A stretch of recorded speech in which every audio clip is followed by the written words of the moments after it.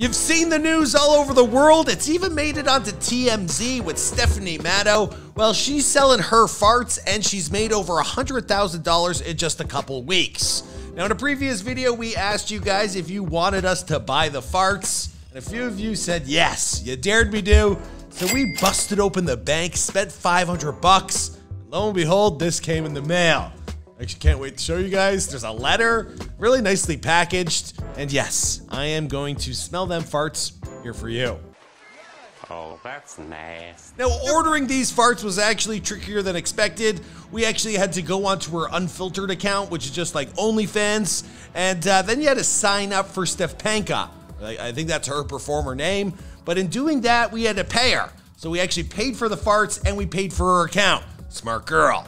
Then you basically hit her up with a message, you tell her why you want the farts, then you deposit your money. Now on a good day, you can get a deal of buying the farts for 100 bucks, but on a bad day, like leading up to the holidays, well, this thing can set you back as much as a $1,000. We got lucky, there was like a half price sale, we got for 500 bucks. Then what you do is you wait about a week for this baby to arrive at your door from a delivery man who has no idea that you're a total scumbag.